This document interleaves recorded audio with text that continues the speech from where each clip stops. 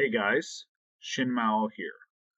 Today is another rough subject Buddhist Muslim relations and their history.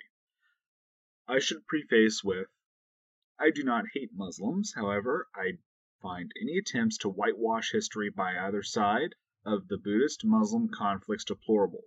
In this video, I will attempt to tell you like it is, without a filter or censorship of my words. I feel it is necessary to say it like this for the sake of healing for my brothers who have lost their lives, and for the people responsible, for their souls to be healed.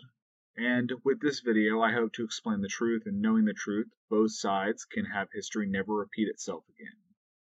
Buddhism and Islam have over a thousand years difference in age between them, with Buddhism originating in the 6th century BCE in northern India and Nepal, and Islam originating in the Arabian Peninsula in the early 7th century Common Era. With such wide cultural, theological, and chronological stretches between them, there is no wonder that they have significant differences.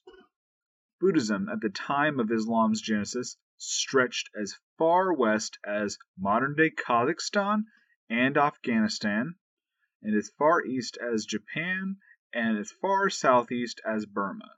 However, in the mid 7th century this changed very fast. The Rashidun Caliphate captured as far east as western Pakistan and into Central Asia. Anytime they found a Buddhist temple, they burned, ransacked, and killed everyone who did not accept Islam. By the 8th century, Islam had taken over the modern day area covering northern Pakistan, Tajikistan, Turkmenistan, Kazakhstan, Uzbekistan, Kyrgyzstan, and Afghanistan. Later, the inclusions resumed under Turks and Muslim Mongols starting in the 11th century. Mahmud of Ghazni blazed into Pakistan, treating Buddhists and Hindus in much the same way as his 7th and 8th century raiders, burning temples, killing monks, and people who refused to convert. And similar to his predecessor, Ghazni failed to finish his life's work, and he was stopped short in Punjab in 1030, dying of a sudden illness.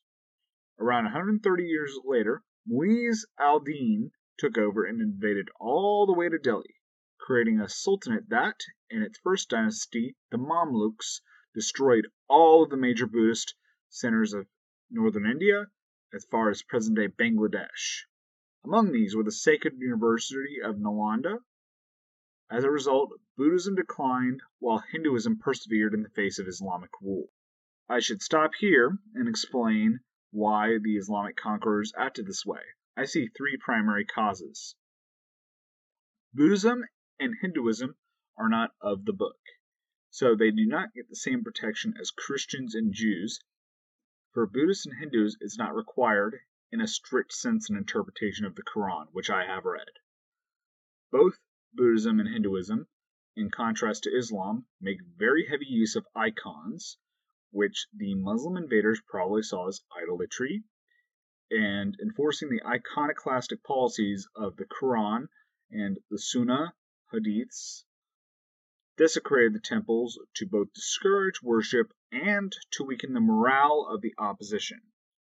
Some Islamic schools, such as the Salafis and Wahhabis, believe that Islam's religion of peace only applies when everyone in a society is Muslim. I'm making a leap in logic here, but it's entirely possible this mindset was present in the invaders. How do I feel about it as a Vajrayana practicer? Well, invaders can burn our temples, murder our monks, rape our women, and hold us at sword point, but it doesn't invalidate our practice, except in their own personal heads. Buddhists have a right to defend their lives, homes, families, and religious leaders, which they have done for centuries against all invaders, not just Muslims.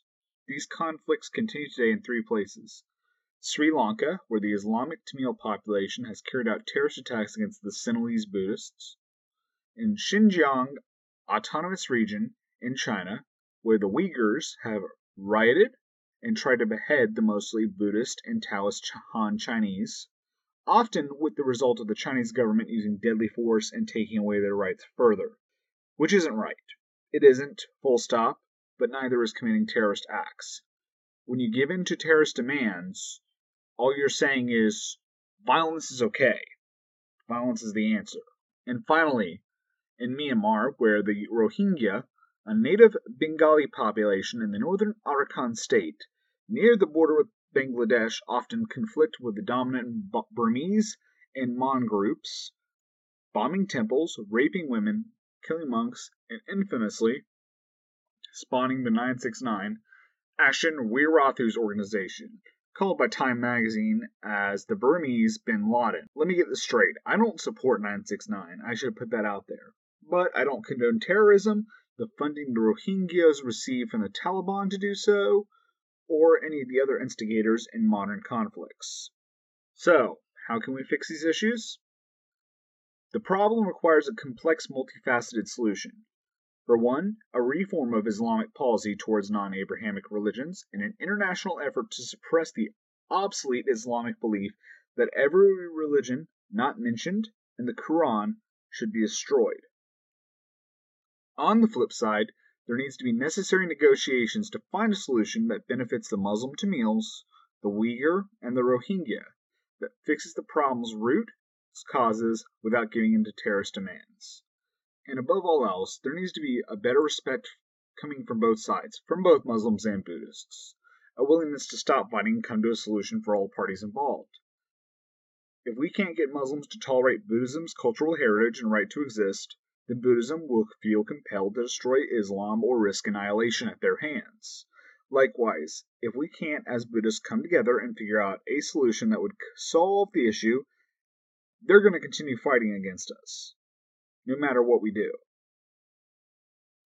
And that's all I really have to say on the issue. If you disagree, start a discussion in the comments and I'll see if we can come to a common ground. If you liked the video, hit like and subscribe for more videos. And if you're feeling generous, please share the video.